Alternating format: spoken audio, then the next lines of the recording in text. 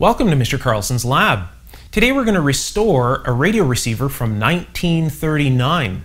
We're going to make it perform the way it did when it rolled off the factory line. This should be a lot of fun. In the end, we'll try it out and see how well it performs. So you'll get a really good idea of what this radio sounded like way back when. Let's get started. Here is our Westinghouse electrical restoration project for the day. As you can see, the cabinet itself is in original condition. It's never been refinished. It even has the original lettering and numbering on it. I'll zoom you in so that you can see this here. Now, really, it is quite common for people over time to drag their fingernails on the finish and take all of this off. But somebody or a bunch of people, however many you know hands or owners this has been through, has been very careful with this thing, and nothing has happened here. So that is definitely original. Is, hasn't been put on there again. You can see a bit of wear in the paper inserts in the buttons. You can see the two buttons that were pushed the most. So as you can see, you push the buttons and it gives you your pre-tuned stations. Not bad. The tuning is nice and smooth.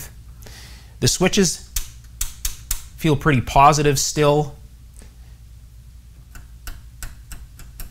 So all in all, not bad.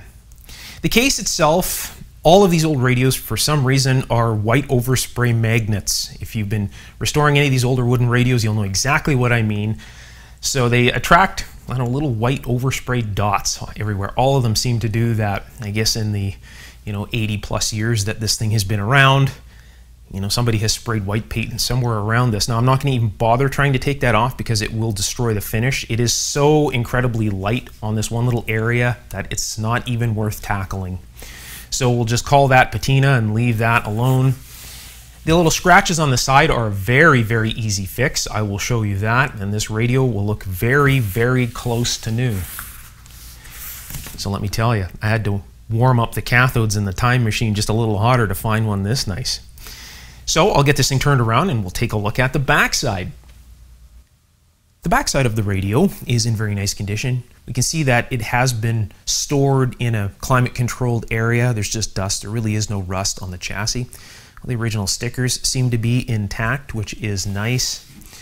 Now, again, the date on this is a little bit up in the air. That's why I say 80 plus years. It could be 1938. It could be 1939. The last date on this little uh, piece of paper here that they've stapled in is 1938.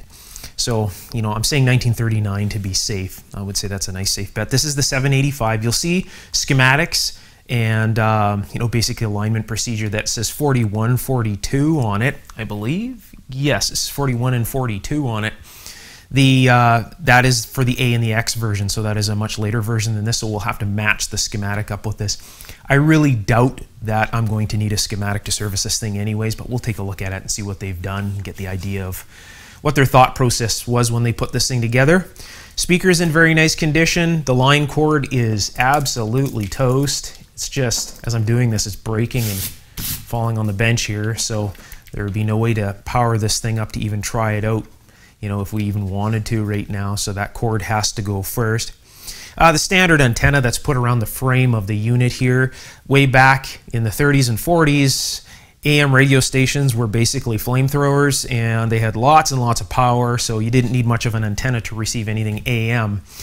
Nowadays, you know, unless you're close to a, a radio station or you have, you know, I guess you could say not very many switch mode power supplies in your house, uh, you might actually be able to hear something on this. But uh, when we try this out in the end, what I'll end up doing is hook this up to an external antenna that goes outside that's away from all the switch mode power supply noise and everything that's, uh, that's in the area here. That's everything nowadays is is built with nice small transformers and switch mode power supplies, not transformers like this that run at 25 cycles. So this will operate at 25 or 60 cycles, this transformer. And it's even rated right here. I don't know if I can zoom you into that so you can see that. 25 or 60 cycles. So this will run at some pretty, uh, at a pretty low line frequency. Nice big core on that transformer right there. So the next thing to do is to get this thing out, and it's not too big of a deal. Just have to pull the knobs off and remove some screws in here and uh, then we'll have to remove the speaker as well. We'll get into the chassis and see what we're up against. First step is to remove the knobs on the face of the unit. Nice little felt pad under there, which is nice. It's, makes me even wonder if this thing has ever even been serviced in its life. This one here doesn't want to come off. There we go. Even the knobs come off relatively easy. So this is definitely a first try, so no, yeah, that's just amazing. That one isn't missing, or this one doesn't have the felt, so the felt is missing here, which is uh, kind of interesting. So maybe that has been off. A little bit of oxidization on that one. So that's all that needs to be done on the front side. Everything else can be left alone, and we'll go to the back side, remove the screws now, and then this chassis should just come right out. I don't know if you can see up inside here, but it doesn't look like they've put a screw in that front mount. That could be factory. So, is it would be relatively hard to get at those way up front. So they may have only done these two rear ones here.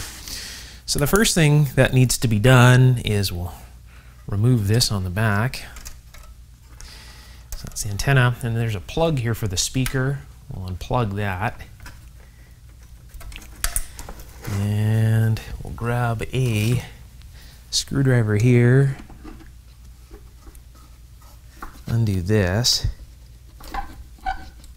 It is pretty tight, so that is really in there.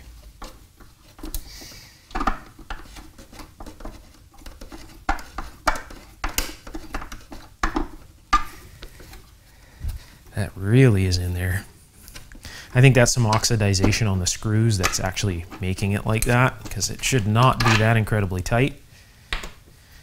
And we'll get to the other side here.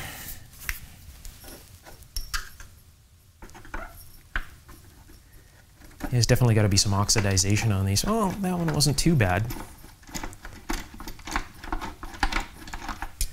was a lot easier than the other one, that's for sure. Now I gotta get the line cord out of here so it doesn't get all tangled up. Look at that. Look at that outlet. That definitely looks like that could be original.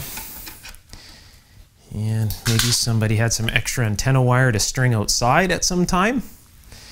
Some nice antique wire there. Okay, so let's push this a little bit forward and see if this will slide out. There it is.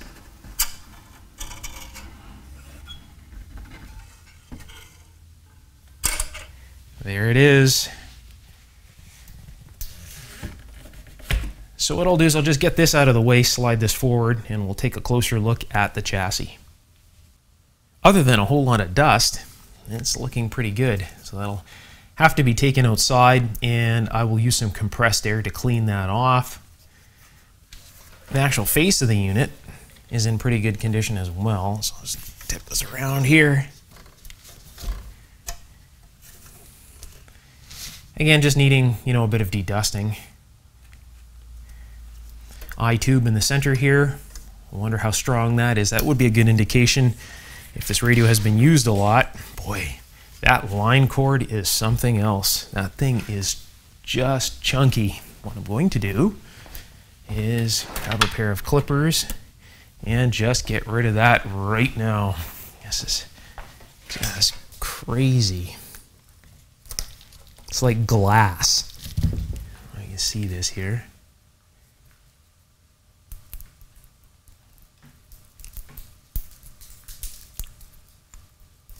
It's just like glass. Have a little bit of sweeping to do here in a little bit. So that is, that's a pretty, pretty crusty line cord right there. Probably one of the worst that I've seen actually. That's really, really dried up.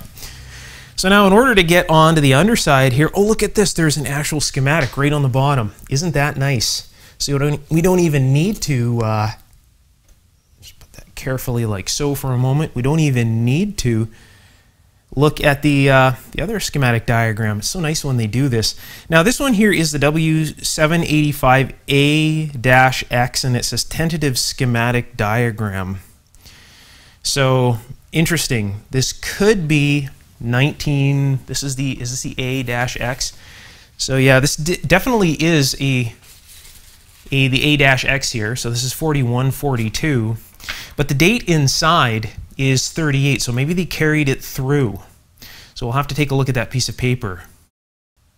You know, beyond this piece of paperwork right here, and the piece of paperwork on the bottom side of the chassis. So this, which is basically a tube layout map, and it also has the trimmer locations with the IF frequency and everything, and the schematic on the bottom, we really don't need any other paperwork to align and completely restore this radio. They've included everything we need right in the radio itself. Isn't that nice? So now what tells me this is 1938, 1939 roughly, is we can see the last date here is 1938. And in Canada, way back in the day, you had to have a license to own one of these radios. And they had to be relatively up to date with that act. And as you can see right here, it also says 1938. So I would say safely 38 or 39. And uh, you know, it's a pretty stern warning right here. If you want to read that, you can pause the video and read that if you like. So what I'll do is I'll get the cabinet moved around and we'll get the speaker out of this thing. What I normally like to do is take the bottom screws out first, the ones that are the hardest to get at. Now you got to be very careful with this. You want to be careful that the screwdriver does not slip and you end up going through the paper in the speaker. These older speakers are magnets for that. I've mentioned this so many times in my other videos. If you're going to slip with your screwdriver, chances are it's going to go through the paper. So there's another one down here, right down in there that I need to get at. So I gotta be very careful. Have lots of control over this screwdriver. And then remove it as soon as I can so that's nice and loose. So I'll just get that out of there and then remove the rest of it with my fingers. Might even be able to remove that on, from the bottom side a little bit easier. You can see that your fingers can kind of get up through there.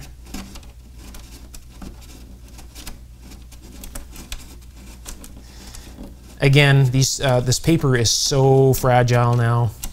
The speakers still sound absolutely fine, but uh, the, you know, of course, the paper from all these years is nice and dry. So it's always better just to be careful. So I to put my hand under here like so. And one more to go.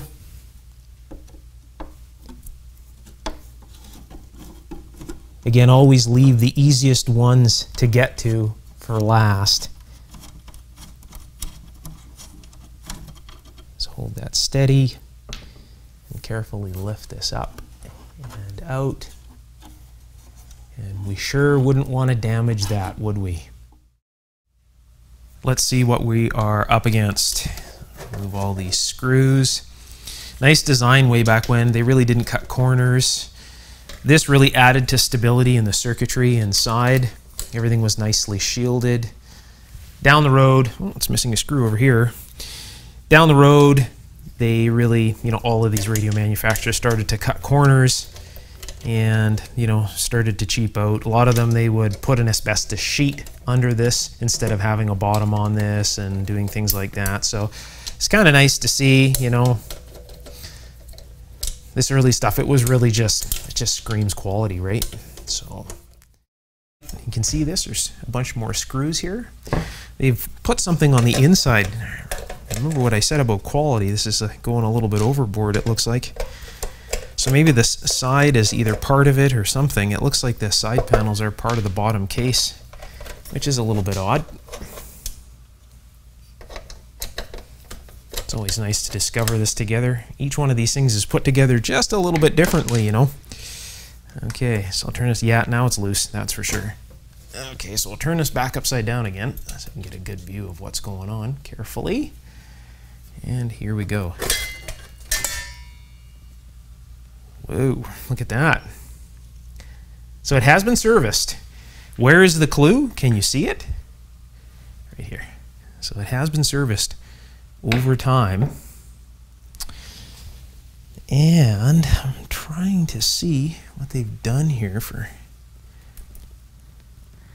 anything else that's in here. It looks like it's all pretty much original. This looks like it's gotten extremely hot. I'll zoom you in a bit. And the wax has just come right off of this. And that's pretty common for something that's tied right to the chassis, right? We have our main filter can right here. Now it looks like the only part that might actually be replaced is this cap. Down here is this cap right here.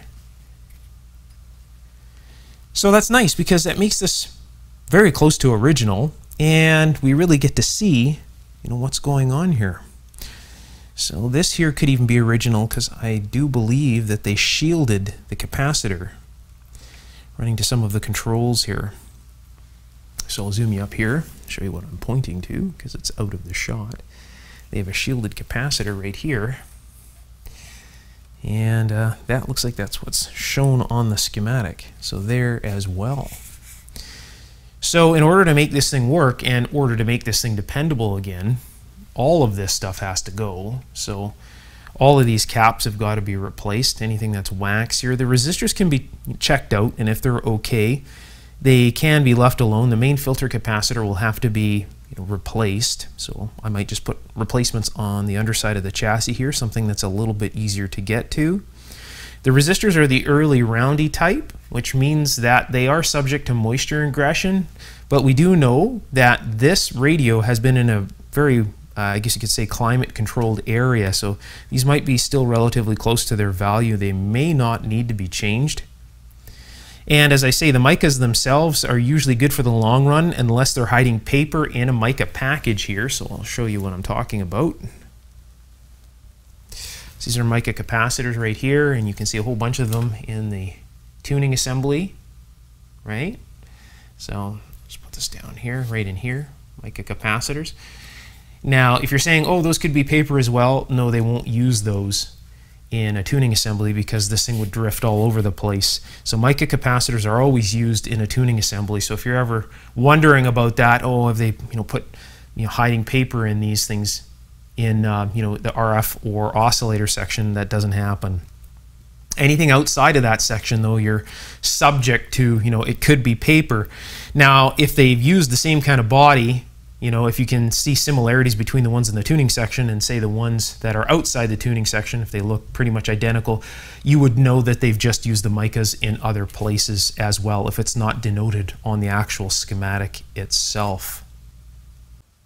Before I start working on this chassis, the very first thing that I want to do is get rid of all of the dust on here.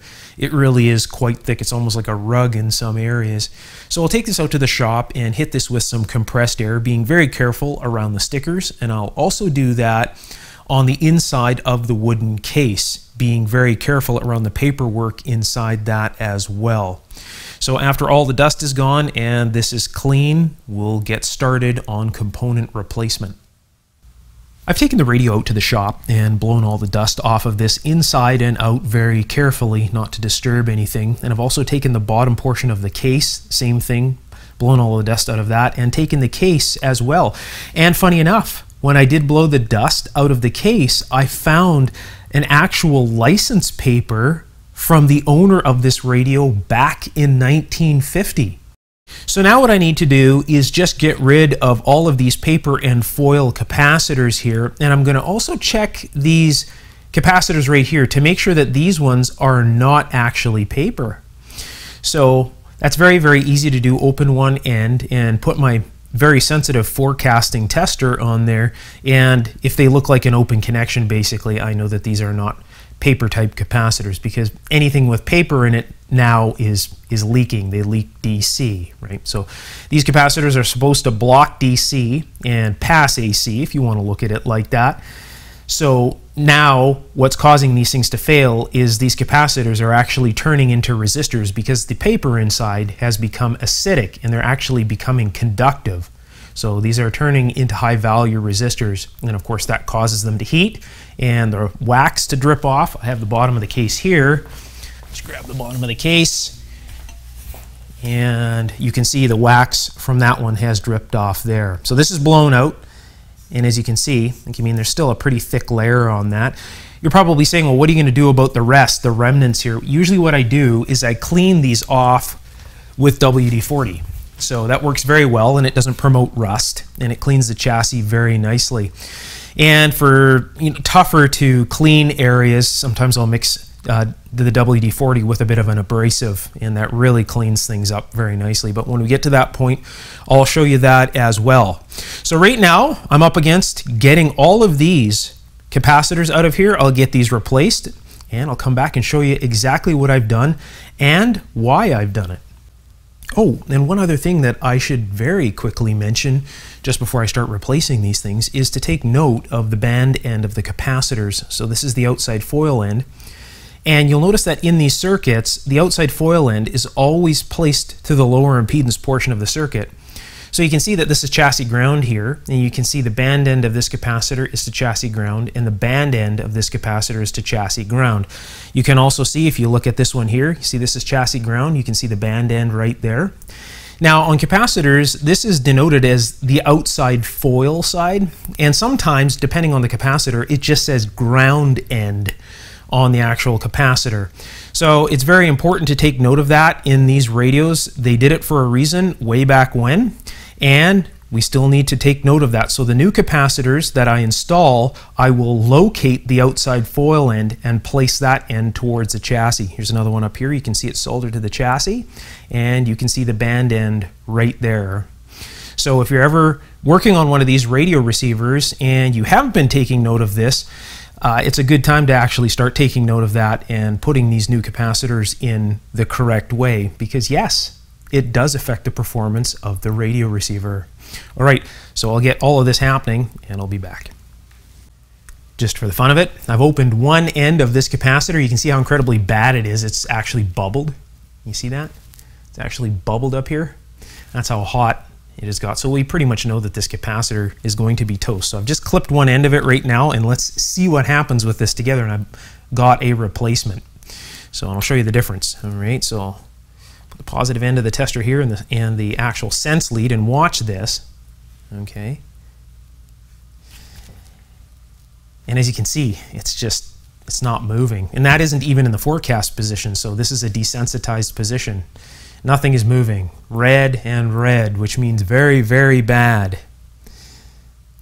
So what I'll do now is I will take this cap here, the new one.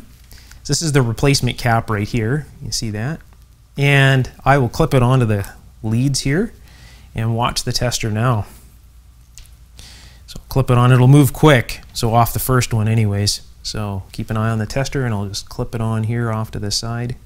If I can get it clipped in, there you go. Look at how quickly that's moving down. And that's what a new capacitor should look like. So now it's on the yellow scale, which is getting close to the home run. And as you can see, it's gone green, very low leakage, no problems. Brand new capacitor, that's what it should look like. And then of course, we remove this again and put this onto here. The sense lead always goes to the open lead. As you can see, that's really, really bad. Very, very bad. Now this is so incredibly sensitive that it'll actually sense the resistance of my body through the vinyl boot. So if I hold the vinyl boot and I touch the chassis,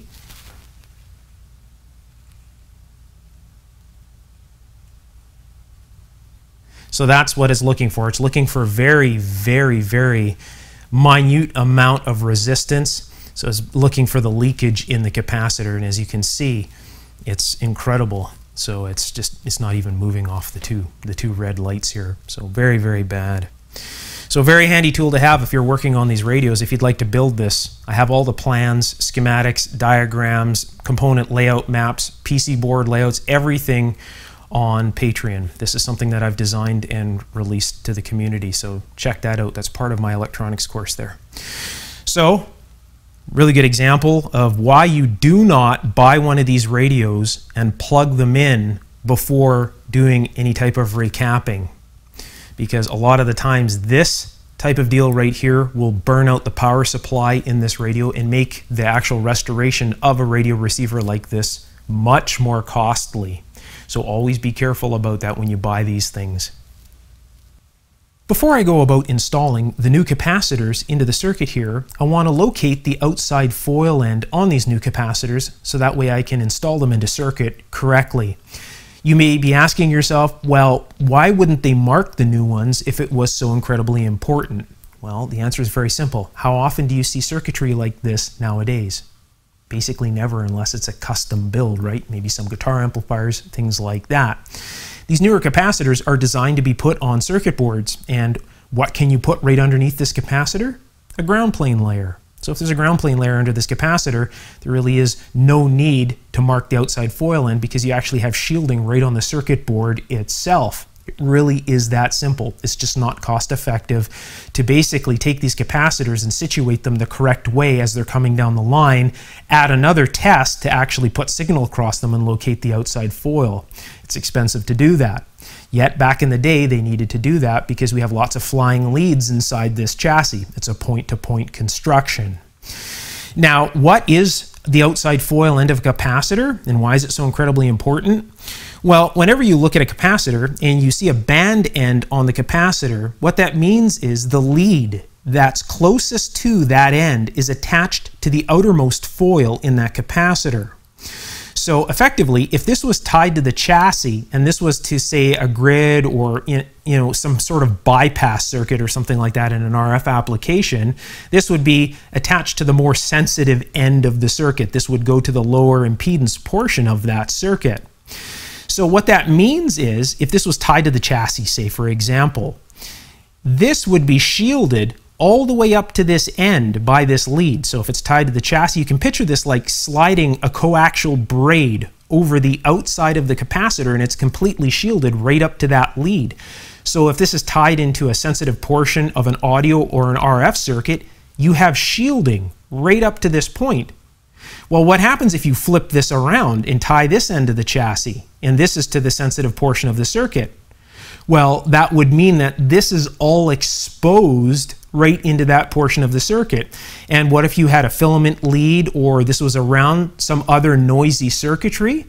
What would end up happening then? Well, you would have a noise pickup like I'm going to show you right now. I'm going to be the noise antenna and I'm going to insert noise into this capacitor and you will see that indicated right here. It's pretty bright, but you can see these lights right now. They're kind of just going, this is flickering back and forth and this is just you know, deflecting. It doesn't know what end is the outside foil because I'm not inserting noise from my body. So you can see it's the same each direction.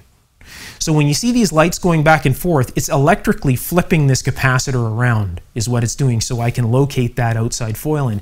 So I, with my fingers, am going to act as a noise antenna. So what we're looking for is the least amount of LEDs lit. So the least, not the most, but the least amount with the corresponding LED on the bottom will tell us the outside foil. Why is it the least amount lit? Well, when this is lit up, it's shielding me when this is at the lowest point. So I can tell what side is actually shielding me, which is shielding the noise from my body. That's why it's the least amount of LEDs. Okay. So I'll grab this like so, and you see all the noise. And now it's down to nothing. All the noise and down to nothing. So what this is telling me right now is the least amount of LEDs lit with the corresponding LED is the outside foil end. This is the outside foil end right here. All right, so all this entire deflection you see when it's this way, this is noise that I'm inserting into this capacitor just by holding it. Now just think if this was in a sensitive portion of the circuit and this was close to an AC filament lead or something like that, or in a sensitive RF circuit. You can already see how incredibly important it is in a rebuild to put these the correct way. They didn't mark the outside foil end on these capacitors for no reason. Okay, so I'll flip this around and you'll see now that the least amount of LEDs will be on this side. If I flip it around, you can see it's on this side right now, right? So I'll flip it around, put this on here. And there you go.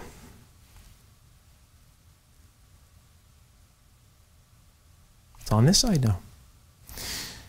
So since that is the least amount, I've already marked this before. I actually go through and I batch mark these things with a felt marker so that way I can just go about installing these. If we look, look, it's already marked on that end.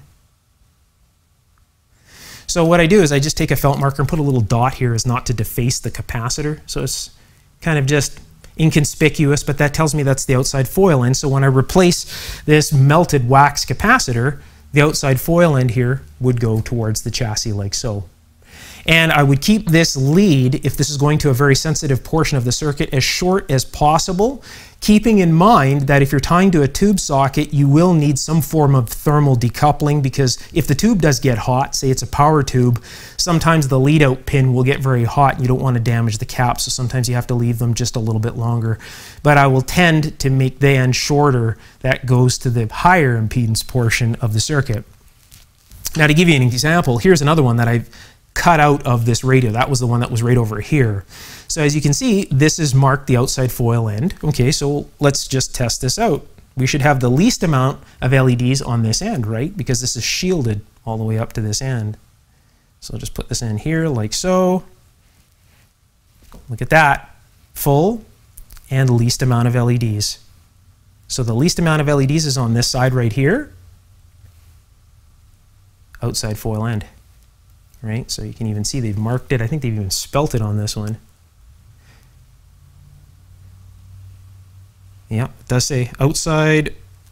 Well, it's kind of messed up. Oh no, this they've marked this as ground end. So it's this ground end on this one.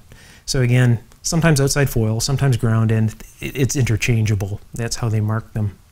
Whereas this wax capacitor here will say outside foil. So let me see here yeah, you can see, well, you can see a bit of it without scraping this off here. You know, you get the idea. Outside foil. This capacitor is pretty, pretty wrecked, but yeah, you can kind of get an idea there. What works is, um, there it is, outside foil. So what works if you need to read these things is uh, you can take a hot air tool. If you're if you have a hot air tool for working with solid state equipment, you can heat the wax up and wipe it off real quick, and uh, it makes these things a lot easier to read, especially when all the dirt and everything is is caught in the wax. So this is 0.1 microfarad, as you can see here, and then of course the replacement is the same, which is 104. Right, you see 104 right there. So, anyways, very important. This is a project, another one of my inventions. This is all the designs, plans, schematic, uh, printed circuit board layout, uh, build instructions, everything is all released on Patreon. So if you do work on this type of equipment, guitar amplifiers or anything where you have you know flying leads like this and even in some solid state equipment it is important as well if there isn't a ground plane layer underneath the capacitor it is important to put it the correct way but most modern designs if they're using something like this and it is important there will be a ground plane layer in a circuit board. But anyways you may find this useful. Uh, if you're working on this stuff a lot this tool is absolutely indispensable. This uh, is something that I use all the time. I can't tell you how many miles is on this thing now. These look like mica capacitors, but I want to be sure that they are not paper caps because if they are, they have to go with these ones as well. Because remember, all the paper is becoming acidic by now. So, do you think these are paper or do you think that they're mica? Let's find out. Place your bets now. This looks like it's relatively easy to remove. It looks like it's just looped around this. Is it? It is. So there it is. 100 picofarad is what that's rated at. So we can tell whether this is paper or mica with a flick of a switch. This is in the forecast position. I'll just attach positive lead here and the sense lead to the open lead. All right, so you can see this a bit better. I will knock the brightness down just a touch. And if this doesn't go immediately green, it is a paper cap. Wouldn't you know it? That is a paper capacitor. So there's a bunch of them in here then. So what does that tell us? Well, it tells us we got more work to do. Let's get this out of here, shut that off. So that means that, I don't know if you can see it here. Can you see that one? This one here? That has to go, that has to go, that has to go, and this one up here looks like it's the same type of cap. This one looks like it's 470 picofarad, but the same markings on it. So there are other capacitors that look like these over here, but I know for a fact that those will be mica. Why do you ask? Well, if you put a paper capacitor in an oscillator section, you'd have to have a steering wheel on the dial control here, and you'd be moving that thing around to keep it on frequency because it would drift all over the place. So No problems in the oscillator section. We don't have to test those because we know that those will definitely be mica. And micas are usually not leaky. Usually not leaky whatsoever. So when we try the radio out, that'll be the test for those.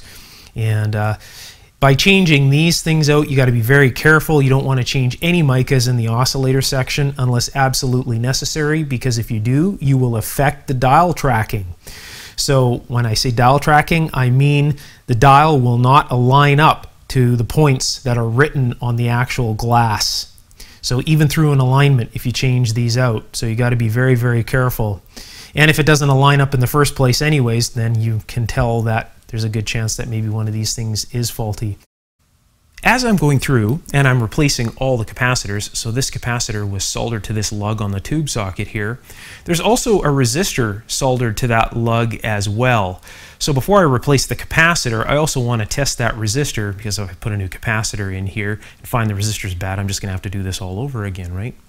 So this here uses the body end dot or body end line principle to read these resistors here. So you can see that very well.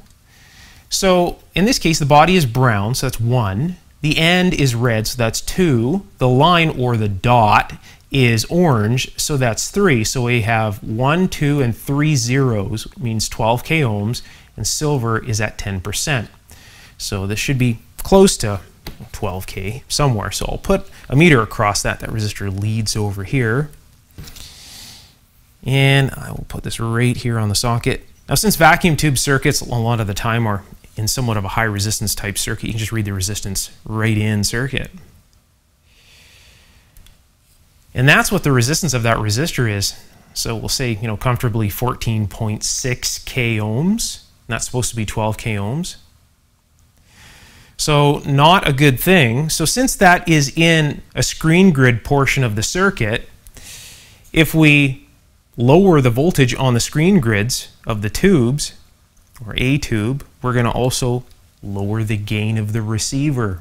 We definitely don't want that. So we want that as close to 12 k ohms as possible.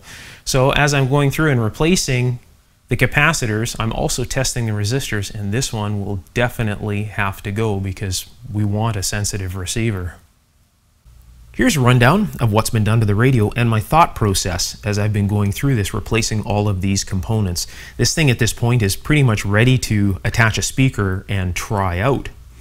So all of the out of spec components have been replaced and there was a lot of them. So they're all over the place. You can see all of the brand new components in here. If you look carefully, you'll spot a new component just about everywhere. Some of them are even hiding. You can see a little cap down in here and uh, you know, they're underneath here. You can see this little cap down in here. Lots of little hard to get areas where you know parts and pieces have been replaced. Since I'm using modern capacitors, I can situate the capacitors in more optimum or ideal areas. I don't need to run all the wires to a central portion of the chassis and you know just have one cap there. So it allows me to optimize the design just a little bit more. So you can see here I've got a cap that is soldered to a standoff here. From the way the camera is viewing this, it's a little bit hard to see, but I'll move the chassis here in a moment. The original capacitor is completely disconnected. So I cleaned off the legs on all three of the capacitors, and all three of those legs are now bent together like a little tripod. And that little tripod is holding a little ceramic standoff right here. So that little ceramic standoff, I've lifted the wires from this one portion of the cap because there were so many wires running to that one, you know, they used it as a tie point.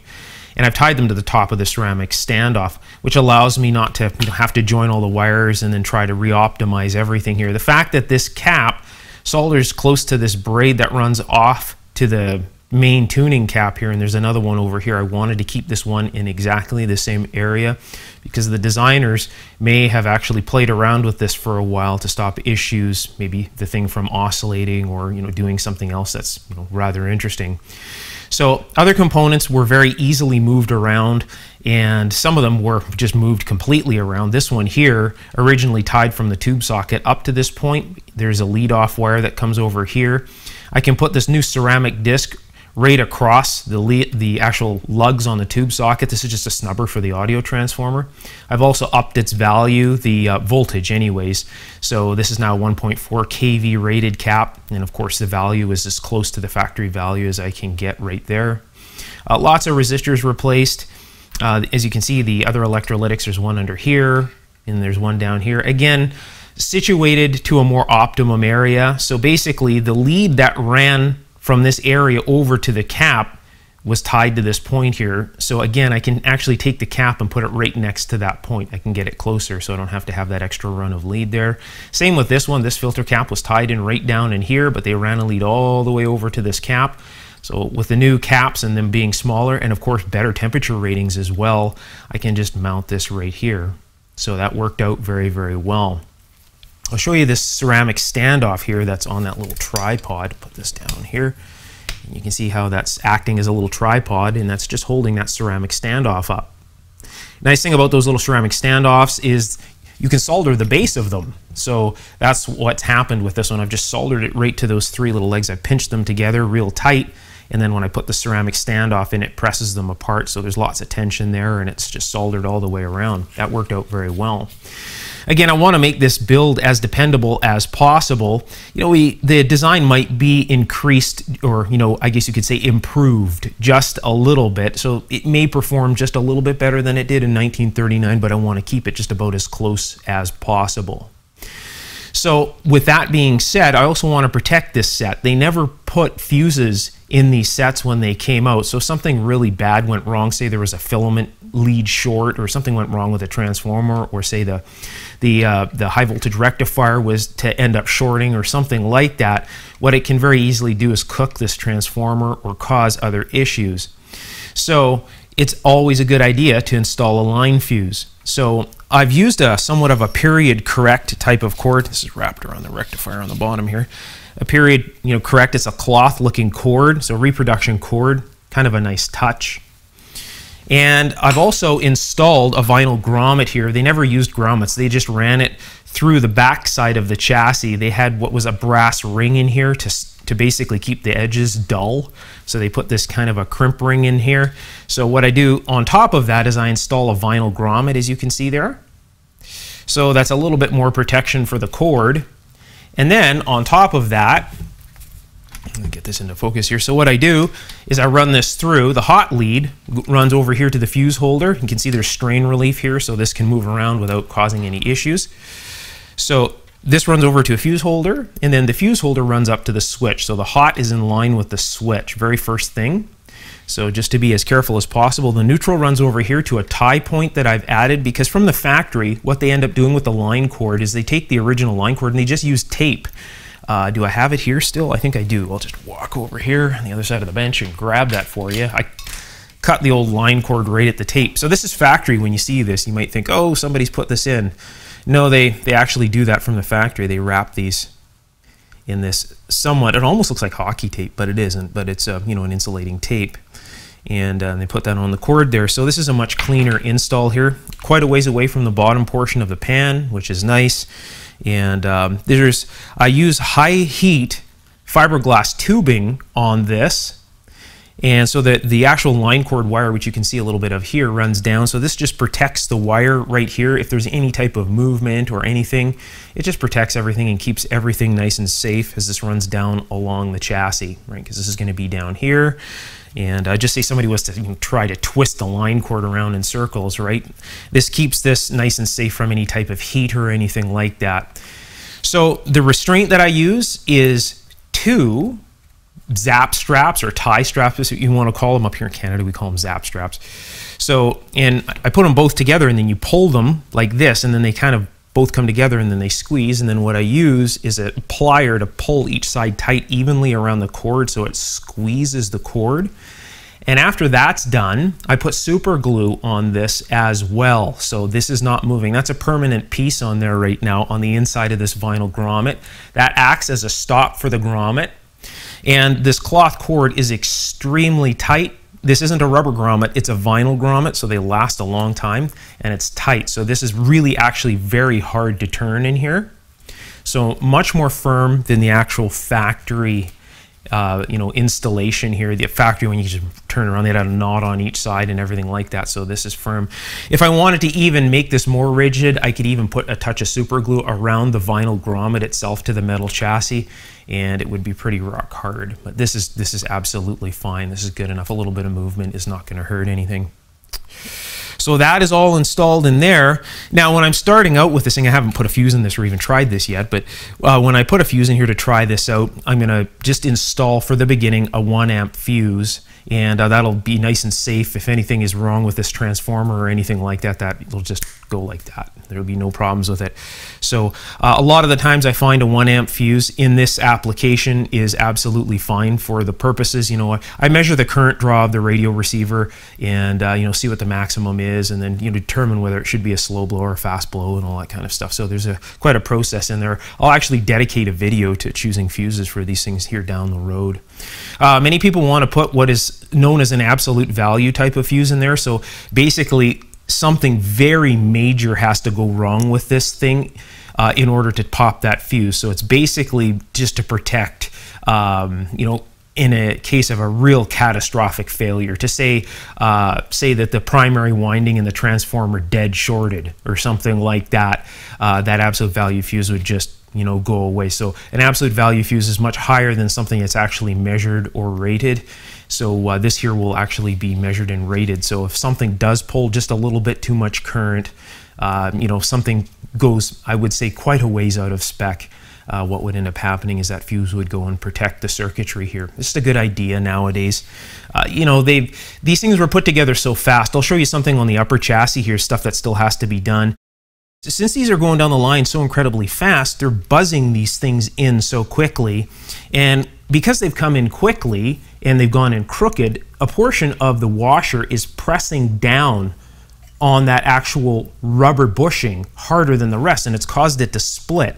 Now this rubber still feels like it did way back when it was factory. It's as soft as a car tire. It's just split and it's just split around the outer edges and we can still save this. Uh, remanufacturing these soft rubber bushings would be a real pain so luckily I didn't have to do that in this radio. I can save these with just a larger washer. So I'll put a larger washer on the top side here and that'll press down evenly on this rubber bushing and that'll be able to save that. You can see this one here is very, very crooked. It's come in very tight here and it's caused a bunch of splitting here as well. So that is a nice easy fix in this application, thankfully. Uh, I have one of the uh, washers here. So here's an example of one of the washers that would be on top here. Now I need to be very careful that when I do put these new washers on that it doesn't come into contact with the capacitor assembly. This entire capacitor assembly is insulated from the chassis by these rubber washers. You can see nothing is touching anywhere. The dial string is a is you know like a nylon string. Nothing is touching the chassis. In some cases, they used a cloth type string as well. So at any rate, this feels like it's this actually may be a, a cloth type of string here. But so the reason that they've uh, done this is in order to make this thing perform correctly in the RF world. There's a big difference between RF grounds and DC grounds. You'll remember on the bottom side of the chassis, you saw two braids that came off this capacitor and attached to the chassis in two areas only. And that's because it's an RF ground. You cannot treat RF grounds like you would treat, uh, say, a normal DC ground. And that's the reason that these are stood off and isolated by these kind of like a rubber puck. This is a really thick rubber puck on the bottom. And it looks like they've actually added one extra spacer so they've done some modifications from the factory at some point to space this up just a little bit more, probably to, you know, maybe make the buttons line up in the front of the case or something like that. So lots and lots of thought has gone into this. If you're interested in understanding more about RF grounds and DC grounds and the difference between them, even though they still attach to the same chassis, I talk all about that in my electronics course. I clarify a lot of this stuff and get right into the theory and all of that stuff. So you may want to check that out. So what I'm going to do here is I'm going to remove all of these screws, as you can see here. Let's remove this one here. Some of this cracks will even go back together again. You can see that the cracks are rejoining because the pressure is removed. You can see how tight it was down on this one area. I'll just uh, zoom in so you can kind of get an idea of how soft this is still. This is cracked, but you can get an idea. It feels about the, you know, feels like car uh, a nice soft car tire is about the how soft that rubber is. Nice and soft. So no problems with that whatsoever. And that's nice because it's a real pain when you have to replace those, right? Still lots of space between this and the metal chassis. So what I'll do is I will take this and put this in here like so. Wind that screw back through that center again. So that's really tight in there. All right. And then what I'll do is, let's make sure that's down in there like so. Put this back in here. And then what I'll do is just wind this down, making sure to cover all of the top portion of the washer so it's nice and even. And put a bit of tension on it. And as you can see, there's lots of space between this and the actual the frame. Move the focus over to that maybe a bit. Let's see here, where are we? Right over here. And as you can see, it uses that whole washer now, and it'll stop it from splitting even more because now the pressure will be even because of this larger washer, and it, I won't get that splitting action like you can see we're getting over here. This one here is the same. It's really driven down tight in this area.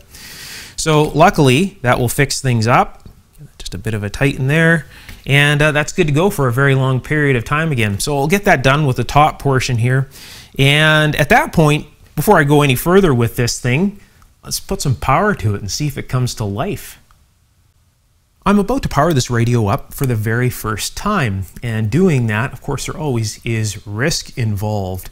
So we don't know what's going to happen with this thing because who knows how many years this thing has been sitting. We don't even really know if the power transformer is shot at this point. And that's another good reason to have a fuse installed. So if you're following along as I'm doing this rebuild and say you're working on something or likewise, you know, like this piece of equipment here or anything else, you're doing so at your own risk. If you're uncomfortable with working on this or you don't know what you're doing and you're working on this stuff, don't work on it. What happens in these older vacuum tube pieces of equipment is they take the what's coming out of the line and it goes into a transformer and it steps the voltage up. So you're dealing with elevated voltages in any vacuum tube piece of equipment. So you have to be very, very careful. So again, be very careful if you're following along, and again, you're doing so at your own risk. All right, so I will grab a fuse. I have my favorite one amp fuse off to the side here. So I'll just pop this into the fuse holder right here. I'll go about grabbing the speaker here. This speaker is was put in a very, very safe area. Uh, one thing to notice about these speakers, the travel in this is also very nice, and it's nice and clean too. There's no grit or anything but in the uh, voice coil. So these are electromagnetic speakers and when you first run them, it's a very good idea to have these face down like so. So what ends up happening is when the radio plays, if there's any dirt and grit in there, it'll end up vibrating and falling out. And a lot of the times just running these things face down for any extended period of time will clear up any buzzing or any issues that you have. This is a little trick for you because you know these things are sitting like this in a radio cabinet, right? And stuff settles in there and works its way in. So always a good thing. Oh, never clean these with compressed air. Uh, I'll always use a very, very soft brush and just clean the dust off of them, especially when you have a you know very nice speaker like this one right here. Okay, so I'll plug this in right here, like so. So we've got the fuse in, this in. Make sure this is off. Turn that off. Careful with that cord around the paper there. Move this around. Plug this into my isolation transformer and current limited variac supply. This cord's all twisted up. So let's plug this in over here. And I'll just, since it's all got brand new components, let's just go right to the max. So I'll turn this on. Okay, we're ready to go. So I'll turn this on. Let's see, what do we got here? Is the volume, turn that down. I don't know where this is, so I'll grab one of the knobs. This is the, uh, this here moves everything around. Oh, this here, by the way, this capacitor I didn't mention, I believe I said this was 470. That other dot was uncolored. They didn't put black in there. They left it just a body colored brown, so it looked 470 on the schematic. And it also measured the previous one was 47. So this the replacement is correct. It's a 47 in here. These little things that you have to pay attention. They didn't color the dot. They left it the body color. So mistake on their end for sure. Good thing I checked that because I would make the front end of this thing deaf. Oh, I'm hearing. Hear that? That's that's a good sign. Good sign that this needs some contact cleaner. I'm gonna have to hose this thing down with contact cleaner anyways, right? But I think this is the tone though, if I remember correctly. This is listen to that life. So I'll turn that right down because I don't want to be clicking anything over here and and uh, so it was, uh, I think, at one end. I think that is, it's either going to be phone or broadcast.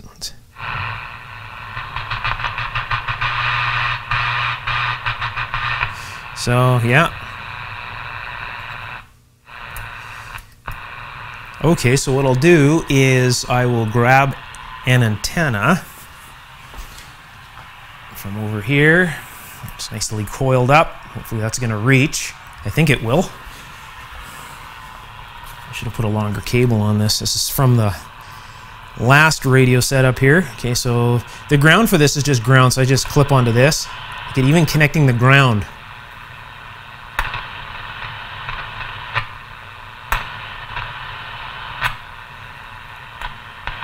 You can tell this thing wants to receive like crazy. So I'm going to turn this down and I'll attach this to the antenna binding post. These two are just shorted on the other side.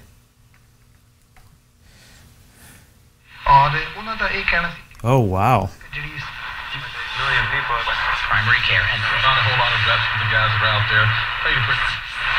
Of Canada keeping interest rates.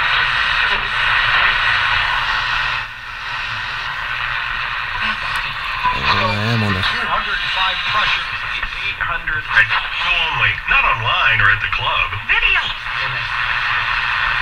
Open. So don't forget, it's a very, very, very big week this week with the Biden crime. Yeah, it's definitely the uh, the tone control. First, winning one-on-one battles. That's what it takes to, to generate offense sometimes in, uh, in Minnesota. Yeah.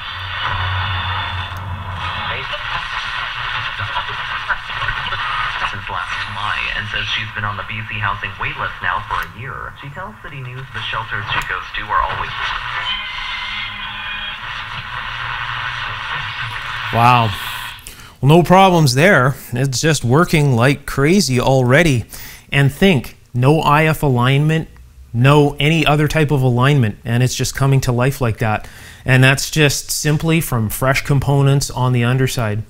Now, keep in mind, depending what kind of an atmosphere radios like this have been, you know, in the past, a lot of people, what they do is they find anything that they can twist a screwdriver in. So, like the IF transformers or anything, when this the performance is degrading, they think that it just needs to be tuned. Well, the, the reason that it is degrading in the first place is because the components on the underside of the chassis are bad, or say one of the tubes has gone bad. As I've said in many, many of my other videos, rarely is a vacuum tube the problem. Vacuum tubes are actually very, very dependable, you know, contrary to, you know, popular belief, but they are very, very dependable. It's the components around the vacuum tubes that always go away, and of course, the biggest one being the wax capacitors. So, a lot of these things have been screwdrivered throughout time really bad, so they have to be brought back into tune again. So, we're going to retune this and bring it to optimum performance like it was when it came from the factory, and then we'll try it out. So, I'll show you some of that process as well. So, this has got a, quite a few bands in it. I'll, I'll tune one band and I'll show you how that one band is done and the rest are pretty much the same. It's just rinse and repeat and we'll do all that here in just a moment. So let's see if the other bands are working. So this here is the broadcast band we know. So we have a shortwave band. The fact that we still hear static means the oscillator's running. If it went dead quiet, we'd have no oscillator. No problems. Next one. No problems again. No problems with that band as well. No problems with that. The oscillator's running there as well. So all in all, it's working really well so far. And I think the last position is phono. It should get quiet here. And there it'll get quiet. Now if I touch the connection to the phono, we should hear a hum in the speaker. So the phono section is working as well. So all in all, this thing looks like it is right now, it's running pretty perfect. But what we're going to do is perform an alignment anyways and just make sure that it absolutely is running perfect. And then I will have to do a dial alignment, so make sure that the dial tracking is correct with what is on the glass. Chances are because of component movement under here, the oscillator has shifted just a little bit. And if it shifted just a little bit, of course, the, the needle on the face won't align up correctly with what's written on the glass. So that'll all be done here quite shortly. So all in all, so far, looking really, really good. One thing that we didn't test is the eye tube. And the eye tube is one of the most important parts of the radio when looking at it. This is what really gives the radio its personality. And having a bright green eye tube is an absolute must. So let's see what happens here. I'll turn this on. Let's see, uh, I can turn this on over here. Lots of switches to flick on. There we go. Turn on the isolation transformer and supply. I felt like this was still on. So I just turned the chassis around and let's see together if this is going to be bright. I'll turn these two lamps down and uh, zoom on into this if I can. And it's looking to me like that's pretty done. So let's go, I think we're still on phono from the last portion of the test. There it is. That is very, very weak. I don't know if you can see that. You can just see that faint green glow in there. Very common. So again, the target area and these things, they all burn out. So, let's turn that off. And in order to get this out, it's actually very simple. So I'll turn that off. I'll actually shut off the isolation transformer and variac supply because I don't want to be grabbing the chassis here and moving things around while, while I'm doing this. So put this down here. To get the eye tube out is actually very easy. So this is probably going to be seized up or frozen since, oh, there it is, way back when. So you just loosen that up and then slide this out. There's a little cup on here.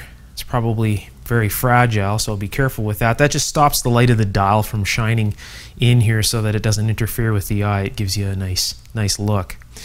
So what happens is these just unplug like so. There is a one meg resistor in these sockets always, which could get checked as well. So we'll just te test the function of the eye tube. We'll test the resistor with a new eye tube. So there's the old eye tube. So let's see here. Grab another one here. Pull this out. There's our brand new eye tube with a nice bright area. So what I'll do is I'll get this plugged into the socket and get everything situated again because there's a lot to do on camera here. Basically the reverse of what you just saw. And if the eye tube isn't in the right area, you can rotate the socket so that you can get the, the opening in the area that you want it to be. So you can rotate this in this little clip right here. So I'll get this all done. We'll turn the radio back on and see what it looks like with a brand new eye. All right, new eye tube is installed and everything is propped up again. I haven't cleaned the chassis or anything, so I'm going to disassemble all this again anyways and clean everything up. So this is just temporary, but let's see how well it works. All right, so I'll go back over here to the isolation transformer and turn that back on. I moved the dial out of the way, get this out of the way here so that it looks a little bit better. And uh, let's turn it on. Let's see how bright the thing is. Now this is from a ways back too, so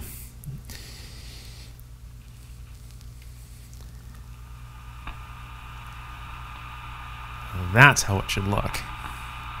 It's so bright it's washing the camera out. So I'll zoom in on that.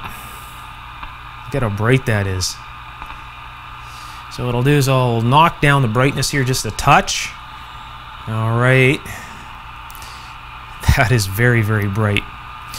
So there's no replacement for a brand new eye tube. That really makes these old radios look special. So uh, let's see how it deflects. Let's uh, tune in a station here.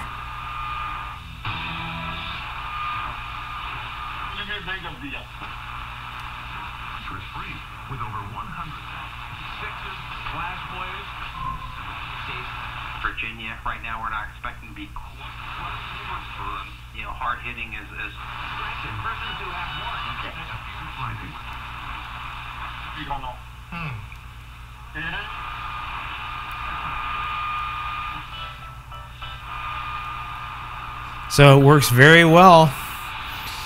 No problems with that at all. Turn that down. So again, this is uh, how it normally looks. Very, very bright. So that should look outstanding in the radio.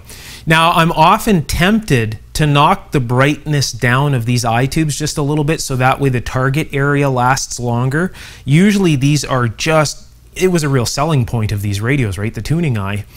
So they made them very bright. And I can tell you right now with, you know, no exceptions, that's extremely bright. Like, you know, compare the brightness of that to this bulb. You can see how bright that eye is, just incredibly. That's green, right? As you saw when I put a filter on on the camera. So I might install a, a, small value resistor in line with the eye tube here just to knock the brightness down. Now I will have you know this this uses a factory 6U5 tube in it. And the 6E5 variant is much more common and not only that it's a much more sensitive tube. And because it is more sensitive, it allows you to add that resistor and knock the brightness down just a little bit so you get some more life out of the tube. And that's why the replacement tube I've put in here is a 6E5, not a 6U5. This is the stock schematic for this radio receiver, and as you can see, the eye circuit really is quite simple. So they've tied the target directly into the B plus line here.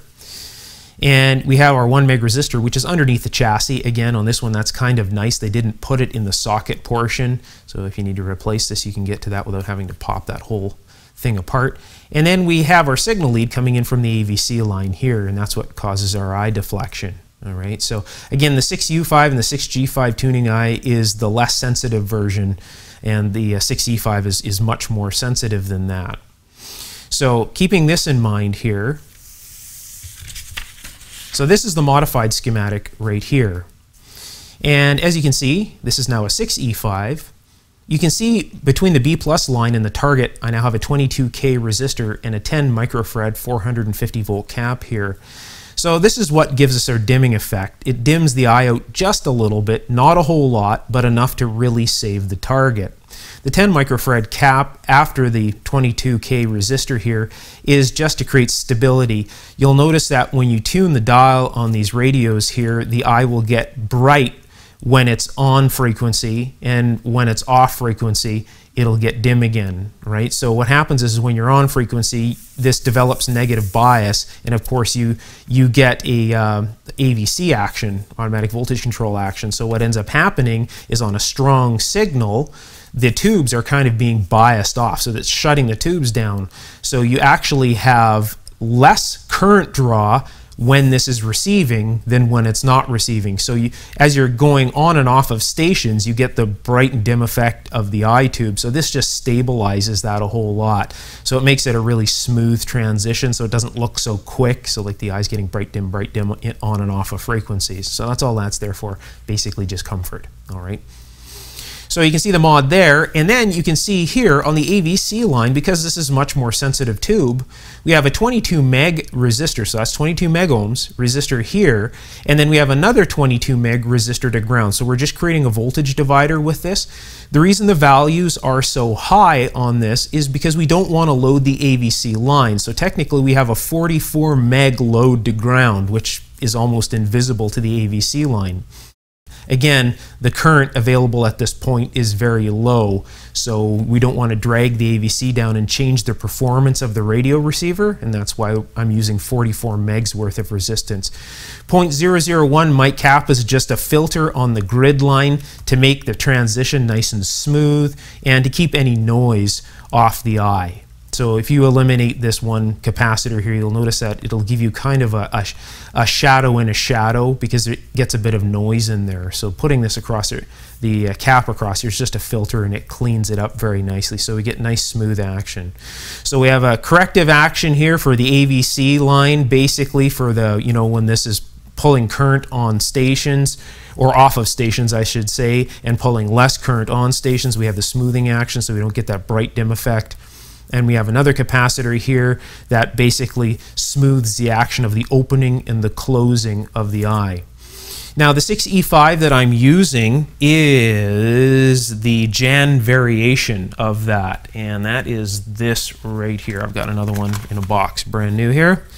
So JAN stands for Joint Army and Navy. So way back in the day, JAN tubes are the best quality tubes, and this tube here is the tube that's in the radio that's just right over here. So that's this tube here. So we have a very high quality tube that's very rugged. So we're going to get extra eye life from that. And then of course with the eye saver circuit on top of it we'll have an incredibly long life to this eye. So this eye should be functional for many many years of use.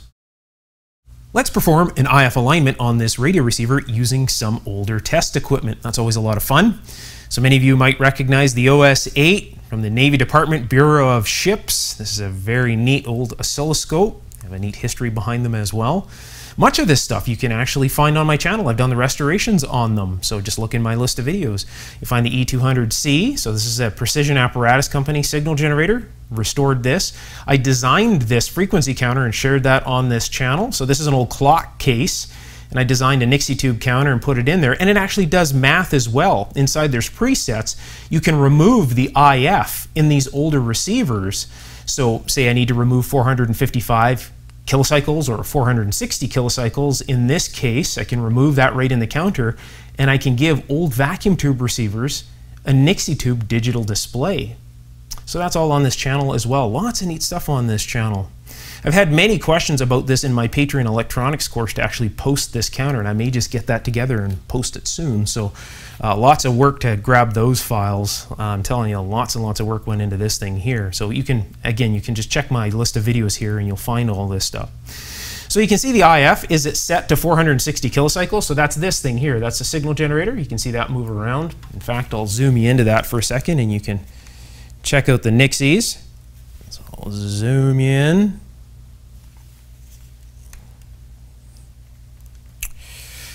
So we need to set this. I'll just move the dial down here. I have it uh, blanking the first digits. So the first digits, if I you know go to a different range and you can see the digit come in and go to a different range, you can see it just gets rid of the digits that are not being used. So it just basically saves Nixies. But um, they'll last a long time anyways because they're, again, you could say that these are being run very easy. So anyways, this needs to be set at 460. So there it is, 460 kilocycles. And what I'm going to do is use the oscilloscope down here to do the alignment.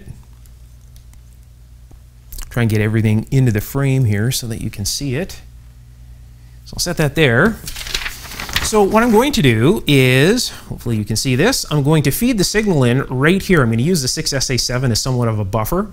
So I'll tie the signal from this in through this cap right here. It's just clipped onto the tube socket here right to this point right here. So it runs into the grid of the tube here. All right, so it's past this cap, so it's not on the DC side here, it's on the grid side, around the, I should say B plus side here, the plate side of the 6SK7, it's on this side of the blocking cap, right here. So we're going to adjust both the upper and lower adjustments on each IF transformer here. So there's a bunch of them here. So they're, they're kind of hiding in here. And I have this uh, pointed away kind of on an angle here. But uh, there's one adjustment here. And if I get under the camera here, hopefully my head isn't in the shot, there's another adjustment up here. And then there's two adjustments on the top as well. I'll move this. This will hum for a moment. Move that out of the way. And there's uh, two adjustments on the top. This adjustment here and this adjustment here. Now I haven't adjusted anything or even played with this since the receiver has been done. So we'll see how far out it actually is because usually through time, you know, people screwdriver this. So what I'm doing is I'm picking the signal off for the oscilloscope at the grid of the 6F6. So it's tied in right here. And that's this cap right here tied into the OS8 right over here. Okay, so I'll turn up the volume here and we should hear this in there. So I'll turn up the signal generator now. All right, so this is on the low output, so there's very little output. We just want enough to see signal here, okay? In fact, I can actually turn the volume down just a bit. So now this is a 460 kilocycle signal getting put into this, going through the IF chain, and then the audio is being picked up after it's detected. And this is what we get on the oscilloscope here. Very easy way to alignment, uh, to do an alignment on this. So the first thing I'm going to do is adjust this transformer right here. So I'll move in to here. Hopefully I can get this in here with seeing this. I'll probably have to move this around just a little bit because the camera is kind of blocking everything here. So I'll get this onto this core here. Okay, there we are. So now when I turn this, we, are looking for an increase. We don't want to decrease this, we want to increase it. So I'll turn it one way, and that is, you can see it's increasing. If I turn it the opposite way, it'll decrease. So look at, we're, this is, it isn't aligned. Let's put it this way. Got all that gain we're getting right there, right? So I'll go to the upper slug now and adjust that one on the top side. Same kind of deal.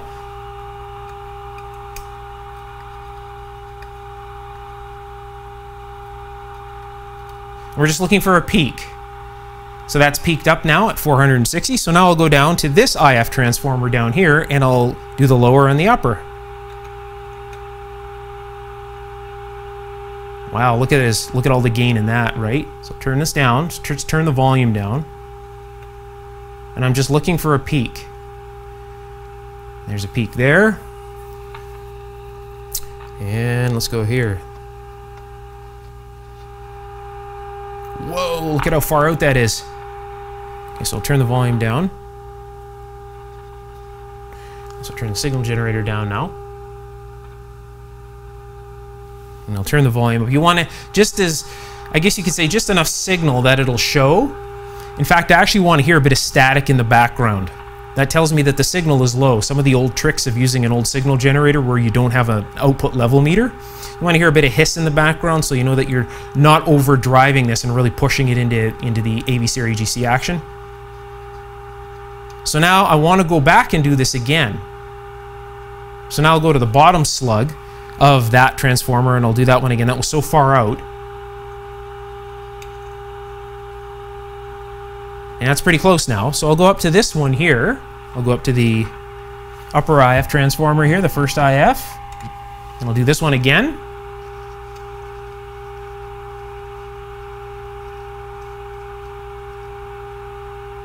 Looks pretty much spot on there. I'll go back to the top side. Now, you don't need to get too crazy with the order. If you have IF coming through, you can start at any transformer, just go back and forth, upper, lower, upper, lower, lower, upper, lower, upper. All you need to do is just look for maximum signal. And that's it right there. So that transformer was way off. The upper slug of this IF transformer right here, which is the second IF, was way out. So we should get quite a bit of gain now. So this is going to receive even better than you heard before. So quite a bit better. And that's all that's to the IF alignment. Before I do the oscillator alignment in the radio receiver, I want to make the wood look just a little bit better. And I'm going to show you a product that I use that works very, very well. I'm not endorsed by them at all, but it really is a fantastic product here. So I will show you that in just a moment. The reason I want to touch the wood up first is because in order to do the dial alignment, so the oscillator alignment in the radio is making the dial tracking correct. So what we want to do is make the radio receive at 600 AM when the needle is pointing to 600 AM. And then of course when we move the dial up to the upper end of the dial, the upper alignment point, we want to make sure that the radio is receiving on that frequency so that you know the scale is reading correctly here because they're two completely separate units, right? So the dial glass is part of the case. As you can see here, it's screwed into the case. So you need to have the chassis in to do that. Now you can get tricky. You can take this out and put this on a flatbed scanner and print off a piece of paper that's to scale and put it underneath the actual needle and, and drag the needle across the paper. That's one way of doing it. But they've left enough room to easily get a hand in there and you know twist the appropriate adjustments inside. So I don't really need to go about doing that. So I'll show you that here in just a moment. But again, first, before I go about putting the chassis back in, I have to move this all around and, you know, move everything around. It gets pretty heavy with that in there, right?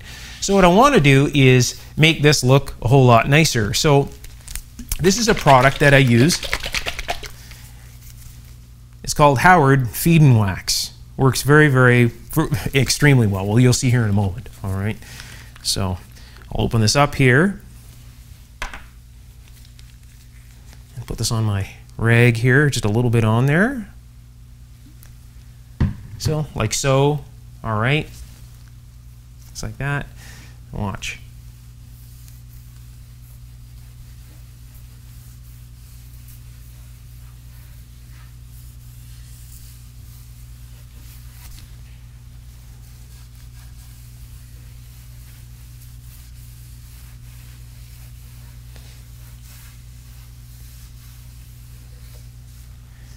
And just like that, it looks like a brand new radio. This stuff really is quite incredible. It's great on older finishes.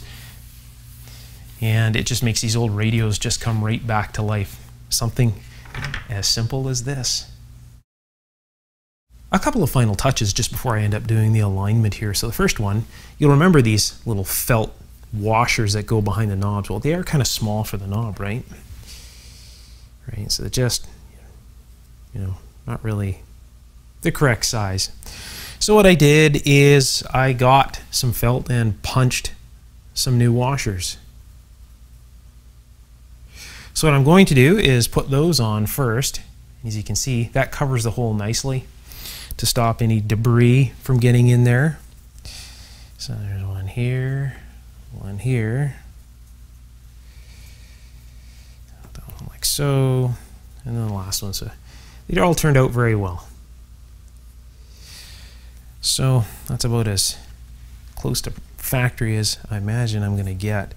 And I'll slip the knobs back on and look at that. Protects it so that the knob doesn't push too far in and drag on the case. And then we have the tuning here and this one here. So the volume and the tone are interchangeable. So I'll put the dot on the tone. That makes sense because that's the on and off switch. And this is the volume. There we go. Look at that. Ever so nice. So all new felt spacers. The next thing I'm going to do is replace the station identification labels in these push buttons here. These two look pretty bad and it would be nice to have a nice fresh set in here now, I'm not concerned if the lettering that you see in here is accurate to radio stations just as long as it has a nice set. So you might see a, an interesting little print in here later on. So what I'll do is I'll take these out, come off just as easy as that, and getting the paper out is just as easy again. Here, let me see if I have something that will grab that piece of paper. I do. So here we go. So getting them out is relatively easy. There, it's in focus there, just like that. All you got to do is just press on it, and it pops out like that. And then you can print up some new station identification little labels here and put them in there. If you want something that's accurate to the radio stations around you, that's completely fine. I'm just going to put ones in here that look like they may have been around in the era of this radio. So I'll get some yellow paper and uh, get started done anyways. Oh, another thing you may want to know about these radios is how to set the presets. There's a little screw inside here, and what you do is you tune the radio to the station that you want. So say the radio station is right there, and then what you do is you insert a screwdriver in here. I'm going to do this right alongside the camera. I don't know, can you see that screw in there? So you do is you push that down, loosen the screw, and then what you do is you push this right in. Just push it in and then tighten the screw up again. All right, so remember right around 15, 15 here, okay? So now, just as easy as that, that's how quickly you can set it. So we'll move this out, okay? And now watch. 15, 15, there you go. That's how easy it is to set these things up. All the new radio station labels are installed, and that turned out quite well. So I figured That'd be neat to have in here and uh, a little further south. The first portion of the AM broadcast oscillator alignment is done at 600 kilocycles, or 600 kilohertz if you prefer, AM. So if we take a look at the counter in the background, the signal generator is already set to 600 AM, and the output of the signal generator is running to the antenna jack on the backside of this radio receiver. So much like the IF alignment, this is set at 600 kilocycles now, and we have this modulated by a 400 cycle tone. I don't know, somewhere around 30% or something like that. Just enough to hear it on the dial here. So the whole idea of this is to verify that the oscillator inside this radio is agreeing with where the needle is sitting behind the dial glass. So obviously it should be sitting right behind 600, right? So if it's above or below, we have tracking issues and I'll need to adjust the oscillator so that it tracks with the dial correctly. So for example, let's take a look here. I'll move this up. And as you can see, it's just a little bit below 600. It's actually surprisingly close.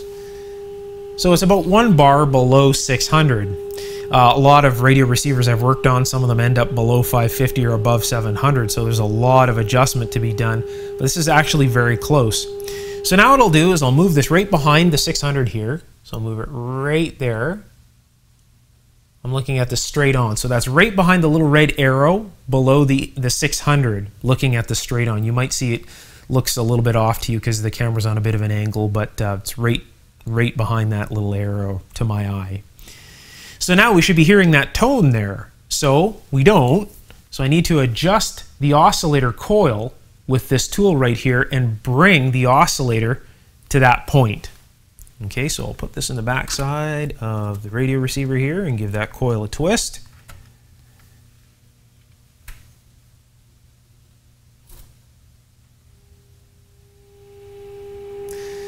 And there it is. So I'm listening for the deepest and the loudest tone.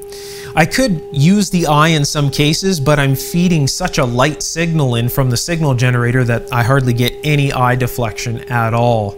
I don't want to overload the front end of the receiver while I'm doing this alignment. So I'll sweep past it and I'll go back the other way and I'll determine where the deepest and the loudest tone is.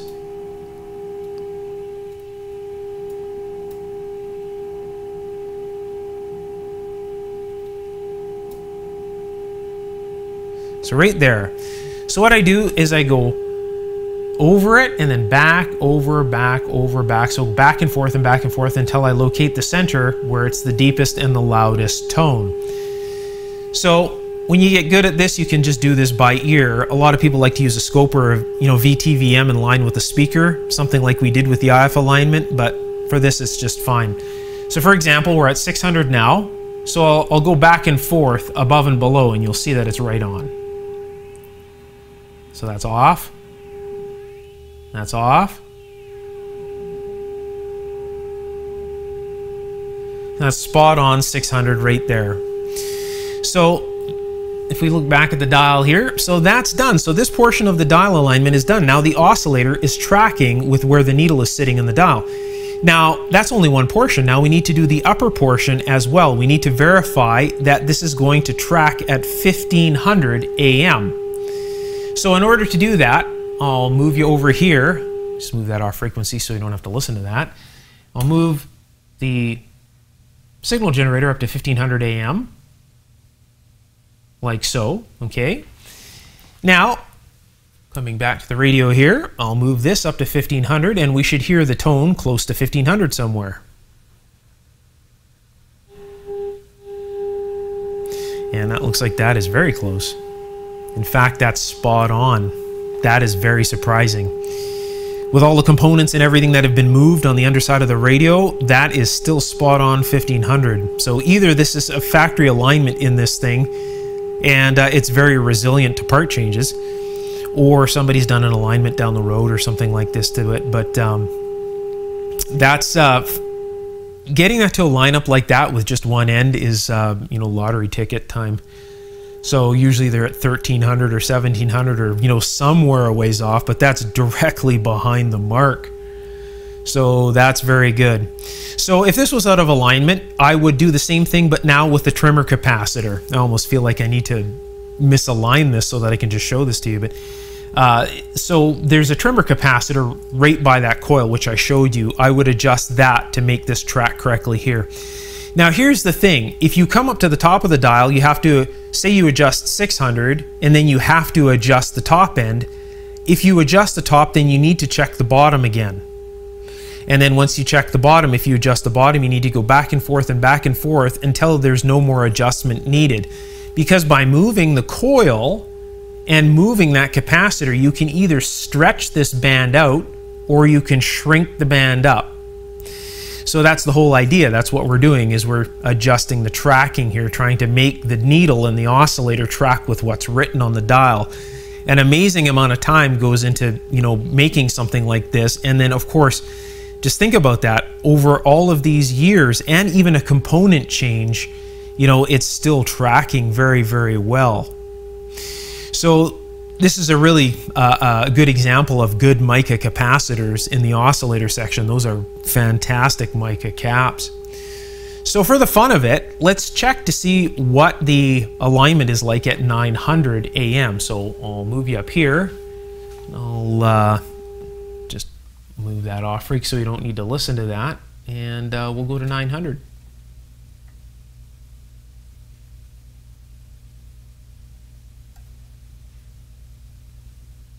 So there's 900 there. So let's see how close it is, just for the fun of it, at 900.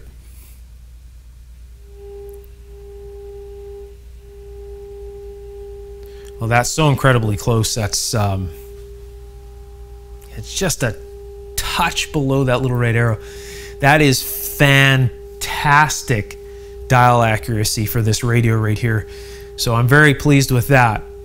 So now what I'm going to do is align the other dials. It's basically the same thing that you saw me do here. I just got to go back and forth between the coil and the capacitor for each band and get that all aligned up. And then once that's done, we'll take a listen to the shortwave band and the AM broadcast band and see how well this old radio performs. That should be a lot of fun. Already, I can tell you, it's very sensitive on the AM broadcast band, so it should be kind of fun to listen to the shortwave bands as well. The moment of truth has arrived. Let's see how well this newly restored radio from 1939 performs. This is about as close as we're going to get to its performance when it rolled off the factory line way back when. So right now it's late in the evening and we're going to listen to the AM broadcast band, so there should be a lot of DX in there or distant stations just due to the atmospheric conditions. So let's take a listen and see what this radio receiver is going to pull in. So let's turn up the volume here and we'll start scanning the AM broadcast band. Here we go cost. It's not. It's not. It's, it doesn't. Nothing's happened. Okay, you the listener. I mean, I know some of you are thinking, okay, that's me. Well, that's all of us. testimony.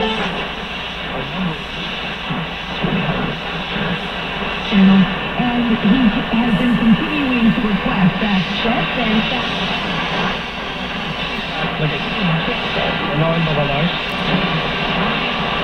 safety plan specifically for your strata or commercial property, ensuring both residents and first responders have the information they require. Reason, he promised that he would eat broccoli when we crossed. 4,000 subscribers on our... Uh, regarding subpoenas that were issued in the birth trial that allowing...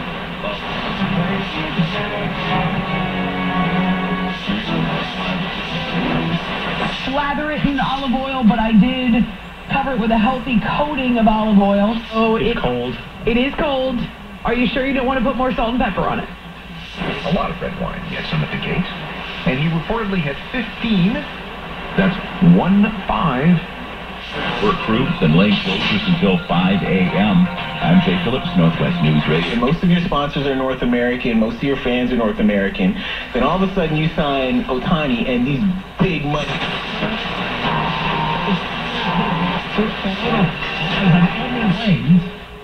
Jesse Kelly's Burger Shop will suffer for that attention. Now, this has been a troops everywhere. Hello, Vancouver and Calgary. I'm Mackenzie Fleet. Either profanity or something you didn't say. Jewish people rejected. The, the ability to. Oh my God!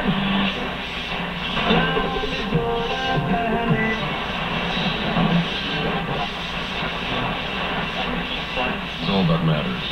Right. Y que por eso, sobre todo que se respeto, continuo que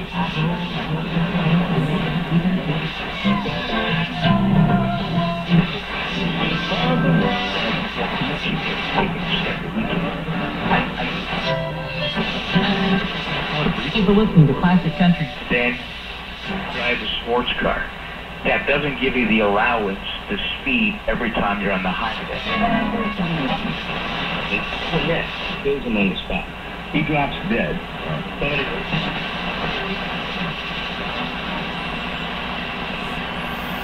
Pretty fantastic AM performance. Lots and lots of AM radio stations in there. So the AM broadcast band on this radio receiver is working fantastic. Let's listen to a shortwave band. Let's take a listen to the shortwave band. So that's from about 6 megahertz here to about 18 megahertz here. There really is no point in listening to these other bands because these are just band spread portions. So 9.4 to 9.6 is, you know, right up in here. We have 11.7 to 11.9, which is right up in here on the upper band. And then we have 1510 to 1535, which is, you know, right up in here. Now, anything from about 10 megahertz up right now is just quiet, and that is just because of the atmospheric conditions. It all really depends on the time of the day when, you know, the certain portions of the bands come to life. And right now we're active, you know, again from about 6 megahertz up to about 10. So we'll listen in this area here and I'll show you what I mean up here. It's just quiet. Whereas in the morning and, uh, you know, at certain portions of the day, this here will start to become active at the top end. So let's take a listen. So what I'll do is I'll just turn the volume up here. And uh, we'll start moving around.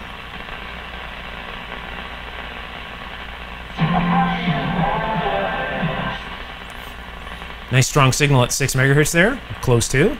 Fluffed out of the pan, and you'd be surprised when people flip up to I'm standing here on firm on my doctrine, they'll have scriptures of eh, nosotros queríamos que fuera un archivo que las personas necesitan en este momento de una. So stations coming in from all over the world.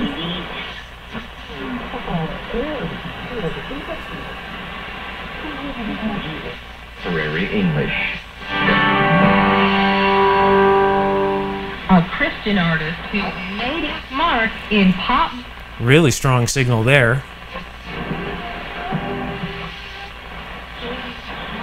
You can see how I'm barely just moving the needle, and there's stations everywhere down in here right now. So as the night goes on, some of these stations may get a lot, lot stronger. Some of the strong ones might get weak, and the other ones will get stronger. It just depends on the time of the day and how the atmospheric conditions change. It's kind of the neat thing about shortwave DX listening.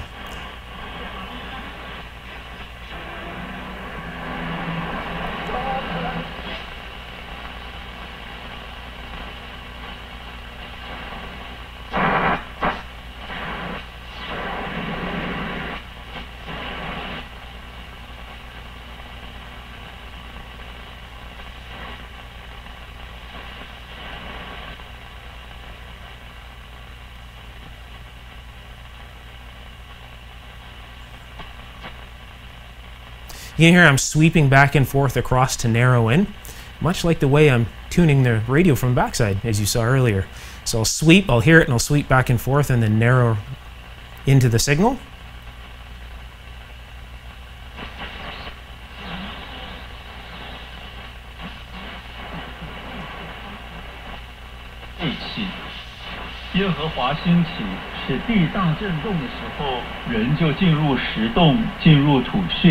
Hey, 耶和华兴起，使地上震动的时候，人就进入石洞，进入土穴，躲避耶和华的惊吓。 Nice strong signal there. に覆われるため、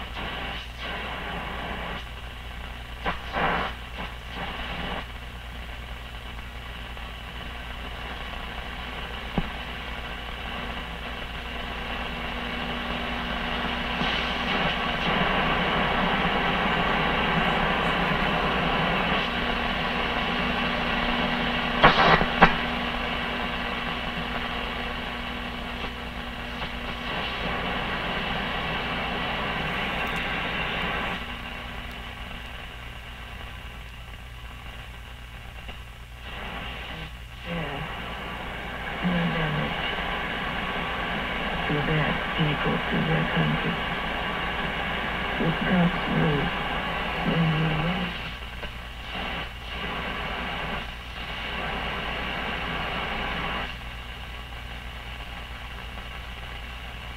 And it's going to get very quiet now again. Just because of the band.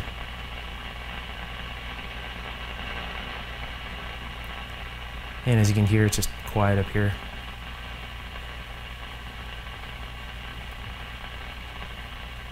So usually I scan like this in a large area and you'll hear if something's there, right? And then you can narrow into it. So it just allows you to sweep a larger area and see if a station's there, and that's why you see me doing this.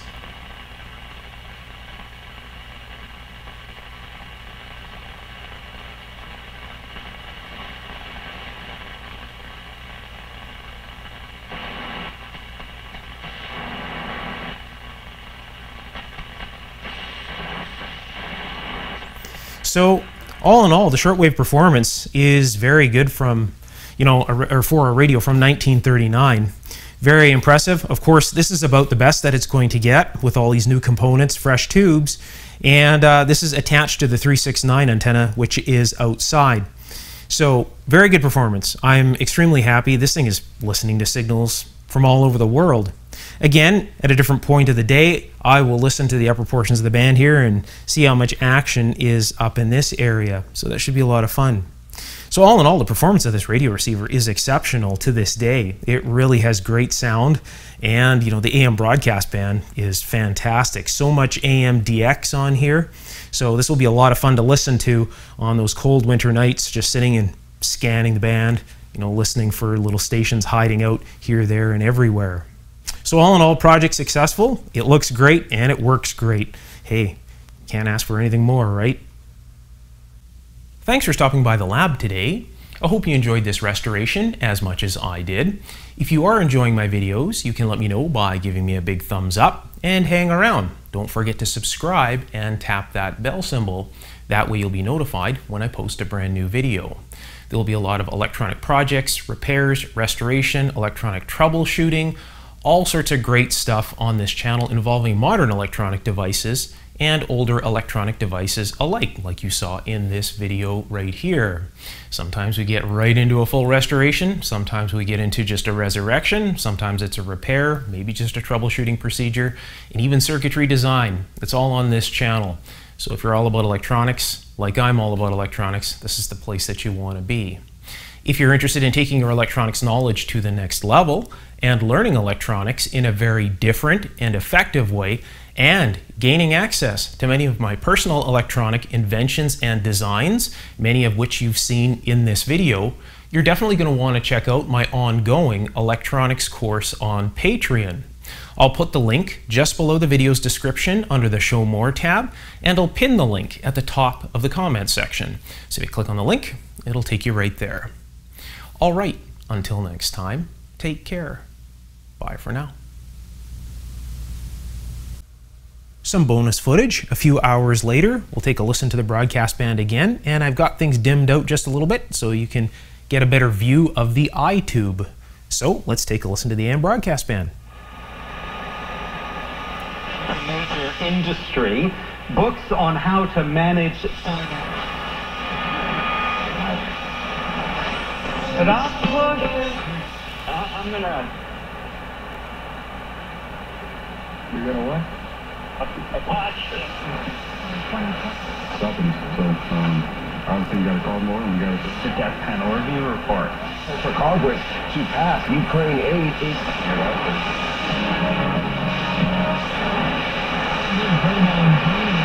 Closure through there uh, due to that ongoing.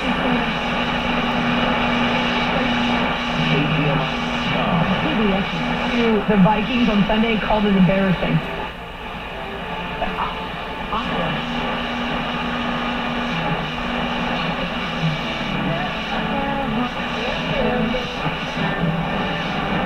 Long dream of having a family to play in the silver and black, and it was the worst possible timing. And I'm not saying the staying with the Packers would have been any better, though the Packers might not have ended the way they did the Aaron Rodgers era if Davante had still been there when they plane was sent to pick them up, right? Because the other one couldn't continue on. But when that plane landed in Goose Bay, I-5 from Spokane Street up to I-90, one right lane is closed overnight until 5 a.m. for construction work. I'm Jay Phillips, Northwest News Radio. I'm through it. Um, I found after five years it's certainly more manageable.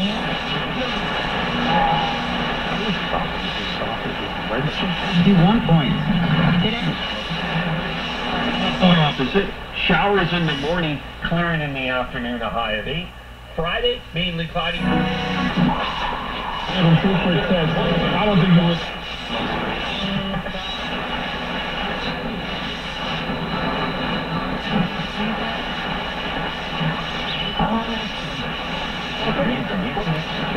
Any